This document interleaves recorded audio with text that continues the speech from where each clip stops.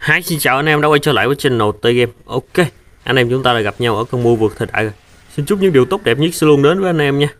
Ok anh em hôm nay sẽ là công thành chiến. Đấy anh em đang xem bảng xếp hạng uh, top ở server mình. Đấy và hiện tại thì uh, top 1 đang à, chênh lệch với những anh em trong vui mình uh, về lực chiến khá cao anh em à.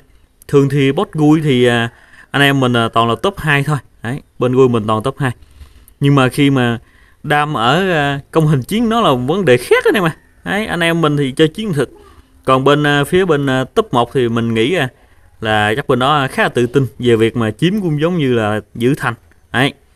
rồi hôm nay thì anh em chúng ta sẽ bem thử xem thử là với cái lực chiến to như thế và một mặt đầu tư bài bản như vậy thì liệu có ăn nổi công hình chiến với anh em tụi mình hay không nha Ok anh em, cùng theo dõi nha.